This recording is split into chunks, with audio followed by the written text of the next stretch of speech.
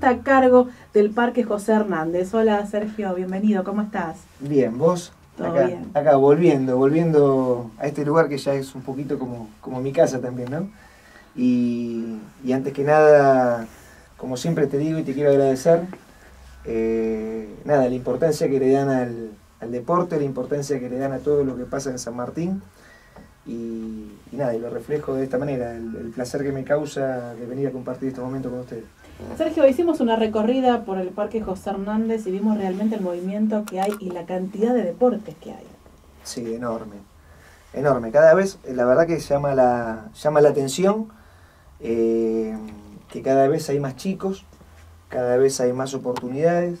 Nosotros tratamos también de estar a la altura de las circunstancias. A veces, eh, como todo, ¿no? Uno, uno genera y cuando, y cuando la situación avanza y crece, hay que estar preparado para eso también, porque eh, ya deja de ser el puntapié, eh, empieza a transformarse la realidad y hay que seguir avanzando, hay que seguir creciendo, hay que estar a la altura de las circunstancias. Los chicos ya no solamente hacen el deporte, no solamente se recrean, sino que también están con ese deseo de participar, de competir, y hay que inscribirlos, y hay que, hay que armar las planillas, y hay que tenerlos siempre al, al pie del cañón. Así que, que nada, hay que estar a la, a la altura, y es muy interesante el laburo que hacen los profes, es muy interesante cada vez que planificamos los resultados que se logran con respecto a la- las cantidades de los chicos, a las convocatorias, a las participaciones.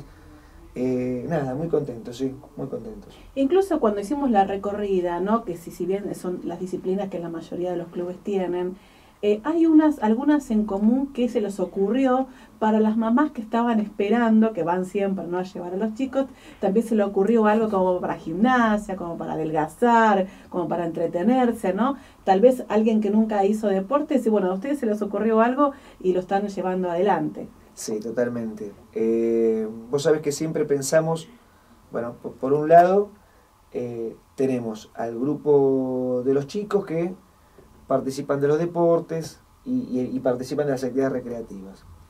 Los chicos vienen con hermanos, ¿sí? que hacen exactamente lo mismo. Papás que también por ahí arman grupos de fútbol eh, y algunos participan de algunas actividades de adultos. Las mamás, las mamás, hace un tiempo largo que demandan y son parte del parque y quieren ser parte del parque en, en lo que tiene que ver con las actividades. Nosotros hicimos varias actividades. Por un lado, el entrenamiento funcional. El entrenamiento funcional es una actividad que es un poco más exigida, que es para, para los mayores que vienen en una actividad, que vienen de, hacer, de, un gimnasio, que tienen un pasado deportivo. Eh, después tenemos las clases de localizada, que son las clases de, de Caro, que, que son muy entretenidas, muy lindas, muy activas, ¿sí? pero tiene mucho que ver con todo ese movimiento y esa resistencia en el lugar. Y lo que incorporamos es la iniciación en la actividad física. ¿Qué tiene que ver esto? Eh, ¿De qué se trata? Es para el pasivo. Es para la persona que está ocho horas sentadas. Es para la persona que hace muchísimo tiempo que no hace otra cosa que por ahí eh, abocarse a la familia y, y de repente empezar a mover el físico, empezar a mover el cuerpo. No es sencillo. Eh, el cuerpo siempre, nada, cuando lo charlamos entre los profes y todo, es como, es como el auto, ¿no? Un auto que tanto tiempo está parado, la verdad que llevarlo a hacer una carrera es para romperlo todo. El cuerpo pasa lo mismo, el cuerpo necesita volver a adaptarse, ¿sí? poner en funcionamiento esa puesta, esa puesta en, en funcionamiento de, de, de las articulaciones, del trabajo de los músculos. eh, nada, me parece que, que es muy interesante para las mamás poder iniciarse despacito con caminatas, con controles de, respiración, controles de frecuencia cardíaca, eh, en pequeños movimientos, empezar a, a- a iniciarse en la actividad física. ¿sí? A partir de ahí, después vemos hasta dónde llegamos. Claro, ¿a partir de qué hora está abierto el parque que la gente puede concurrir? Y el parque lo tenés abierto a partir de las 8 de la noche, este, de, las 8 de la mañana hasta las 8 de la noche. A todo el día. Sí, y te puedo asegurar que en líneas generales muchas veces nosotros con, con el tema de los espacios y las prácticas o los ensayos terminamos más tarde, ¿no? Eh, ahora, para lo que son las actividades formales, de 8 de la mañana a 8 de la noche. Eh, ¿Volvieron al horario normal? Porque habían cambiado un poquito en vacaciones de invierno. ¿Cómo se van a manejar a partir de ahora? Ya está, a partir de, hoy comienza la hora normal. No te olvides que el parque de 8 de la mañana a 5 de la tarde está con todo el tema de las clases de educación física de las escuelas. Trabaja con la Dirección General de Escuelas y utilizan el predio para que los profes puedan desempeñar sus clases ahí. Y a partir de las 5 de la tarde comienzan las actividades formales del parque. En vacaciones de invierno y con el frío tiramos todo para abajo y bueno, nada, eh, que los chicos puedan disfrutar antes, el hecho de que no tener que ir a la escuela, pueden venir al parque, nada, que siempre tengan la posibilidad de, que el parque sea la primera opción, esa es la idea. ¿Cuál es la disciplina que más gente lleva, que más chicos convoca? Mira, yo te puedo decir que, que, a ver, fútbol tiene muchos chicos y tenemos 50, 60 juveniles que, que hoy no es sencillo juntar 50, 60 juveniles. Te puedo decir que patín tiene un montón y hay tres turnos que explotan y la realidad es que vamos a tener que agregar más horario porque no, no da no da abasto, ¿no? Eh, rugby lo que progresó es un montón. Taekwondo tenés permanentemente las clases llenas. Hockey, hoy hay tres categorías de hockey. Eh, la verdad que en algún momento te hubiese dicho fútbol, en otro momento te hubiese dicho patín, en otro momento te hubiese dicho taekwondo. Hay muchos, muchos chicos en general. El parque hoy tiene muchos chicos. Y eso es lo que no, a nosotros nos pone muy contentos. Se hizo el torneo de tenis de mesa. Sí, sí, sí. sí Contanos un poquito. No, espectacular. La verdad generó una, una expectativa enorme el tenis de mesa. Algo que en el parque, si bien lo teníamos, en los últimos tiempos creció muchísimo. Y, nada, se hizo un torneo muy lindo por primera vez en el parque el, otro sábado. La verdad, eh, espectacular. Participaron todos los chicos de los centros juveniles, muchos adolescentes, mucha gente de la, de la comunidad. Han participado adultos, que son referentes incluso de los centros juveniles y, y del parque también. Eh, nada, tuvimos una, una participación y una convocatoria excelente, cuatro mesas funcionando a full, con todo el reglamento como corresponde, a cargo del profe Rodrigo Tijeras.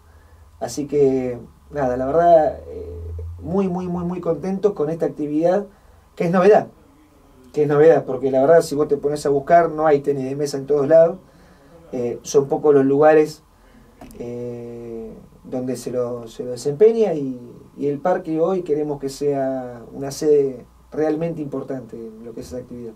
Bueno, nosotros que estuvimos ese día se vivió todo como una fiesta, fue realmente algo lindo. Sí, espectacular.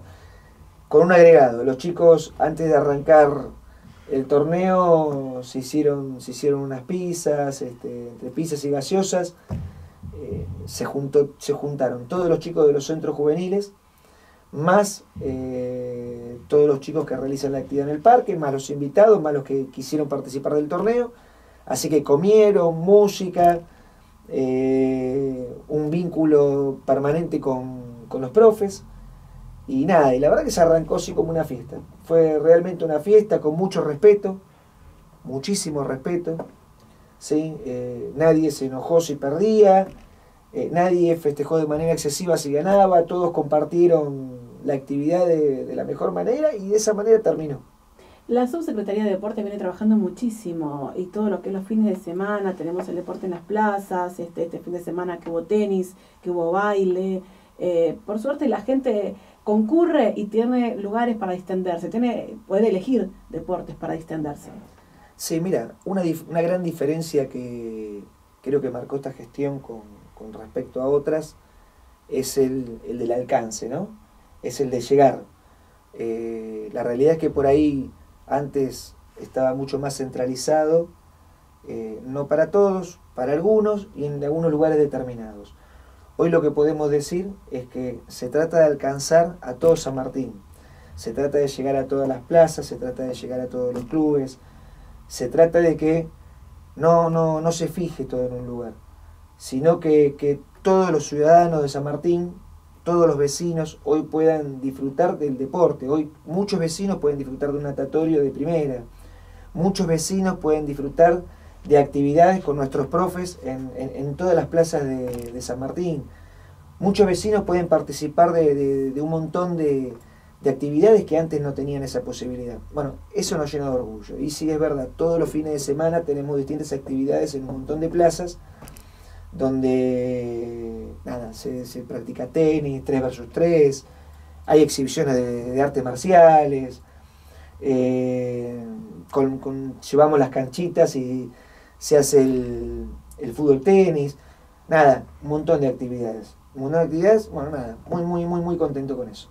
Cerrar los ojos y ves la gente en las plazas y vos decís vuelvo al tiempo atrás y ves cuando la gente iba con el barrilete, los chicos se iban a la plaza, se divertían, porque bueno, en ese momento no había otro lugar eh, para divertirse, ¿no? Entonces iban los chicos a la plaza, ya sea con la bicicleta, con los patines y demás. Hoy cerrás los ojos y dices, ¿estamos volviendo a vivir eso?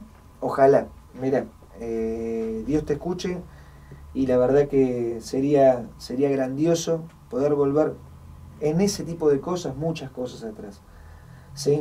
Eh, la participación de la familia, de los chicos, los espacios libres, verdes, algo más sano, eh, el deporte, en el mundo que vivimos hoy, que es el mundo del internet, el Facebook, vos fijate que cuando uno habla del tiempo atrás y lo, charlamos con amigos, y, antes vos querías ver un amigo, lo ibas a visitar a la casa, hoy querés ver un amigo, ni lo ves, le mandás un WhatsApp o le mandás un chat.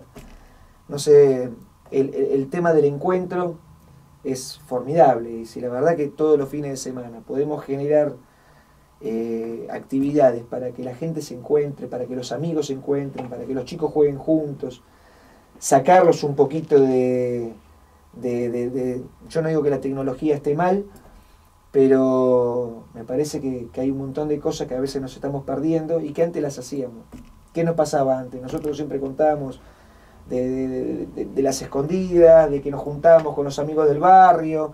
Eh, hoy la verdad que entre un poquito el miedo, eh, la falta de la, gente que no sale, la gente que se comunica por un aparato, eh, la verdad que volver a juntarlos es, es algo grandioso, ¿no? Y esto es una opinión muy personal.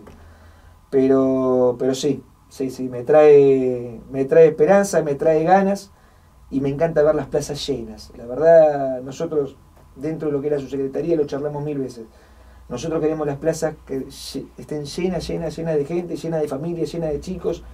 Y, si aportamos a todo eso actividades y motivos para que se junten más, bienvenido sea. Bueno, eso es lo que vimos en el Parque José Hernández cuando también estuvimos, que hicimos un chequeo general cómo se estaban manejando.